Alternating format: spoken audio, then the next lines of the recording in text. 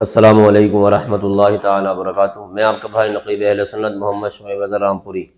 फिर आज अपनी कौम मुस्लिम से मुखातिब हूँ। मुखातिब होने का मकसद ये है, आज आइम्मा कराम की शान बतलाने वाला हूँ अपनी कौम कौम मुस्लिम को। मेरे अजीज़ों, आज हम अपनी मस्जिदों के अंदर जो हमारे इमाम साहिब किबला होते हैं, उनके पीछे हम नमाज़ पढ़ते हैं। और नमाज़ पढ़ने के बाद फिर उनकी बुराइयाँ करते हैं, उनकी गिबतें करते हैं कि चोलखोरियाँ करते हैं कि इमाम साहिब किबला में ये कमी है, वो कमी है, ये कमी है, वो कमी है। तो लिहाजा खुदारा होश के ना खुलने हालात बहुत नाजुक हैं। इस दौर में भी अगर हम अपने इमामों की कदर नहीं करेंगे तो फिर क्या होगा? देखें, पैदाइश से लेकर इंतकाल तक यही अइम्मा मसाजिद काम आते हैं। और इंतकाल से लेकर नमाज़ जनाजा, स्वयं की फातिया दसवा, बीसवा, चालीसवा तिवाई छवाई बरसी तक काम आते हैं। तो क्यों ना हम ये हमारे गम के में काम आ रहे हैं, हमारी खुशी में काम आ रहे हैं तो हम क्यों ना हम इनकी कदर करें? क्यों ना हम इनको अपने सरों पर बैठाएँ? आज बाद बात बस्ती के अंदर ये देखने में आता है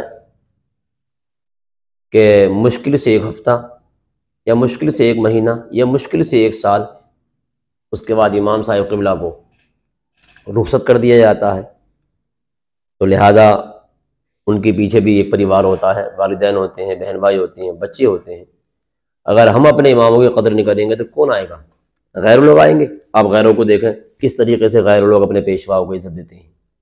कम से कम ये सब हम अपने उलमा या अपने आइम्मा से नहीं सीख रहे तो कम से कम गैरों से सबक ले लें।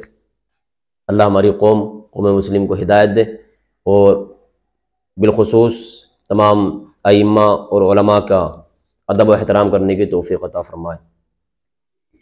एक शायर ने कहा था कि ये मत समझना कि बेहतर समझ रहे हो तुम, वो एक हीरा है, पत्थर समझ रहे हो तुम, तुम्हारा हश्र ख़तरनाक होने वाला है, अगर इमाम को तुम नौकर समझ रहे हो तुम अल्लाह अकबर।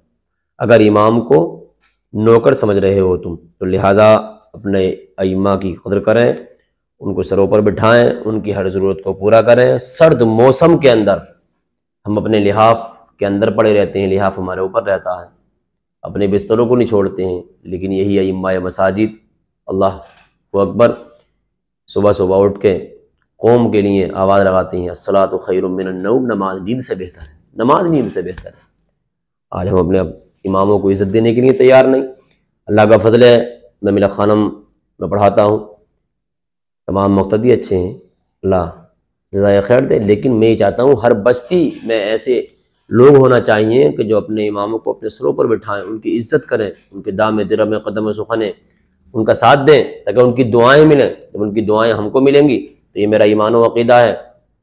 मेरे अजीज़ों, दुनिया के अंदर रहेंगे, खुशहाल रहेंगे। दुनिया से जाएँगे, कब्र के अंदर अमन रहेगा। हशर के मैदान में सुकून रहेगा। तो लिहाजा आज ये मसाजिद के अइम्मा इन्हीं से दीन की बका है। मदारिस के इस इन्हीं से दीन की बका है। आज हमने अपने ओलमा की बात को मानना तो बहुत दूर की बात रही एतराज़ करना शुरू कर दिया। कोई भी अगर मज़हब इस्लाम की बातें बतलाना शुरू करता है, हमारे ओलमा में से कोई हो, या इम्मा से में से कोई हो, या तलबा में से कोई हो तो एतराज़ करना शुरू कर देते हैं।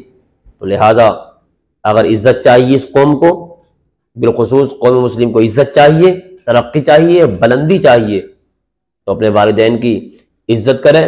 बहन भाई, तमाम बच्चों को घर वालों को, परिवार को साथ में लेकर चलें। उसके साथ साथ अपने जो आइम्मा हैं, उनकी इज़्ज़त करें, उनका अदब करें। मुझे उम्मीद है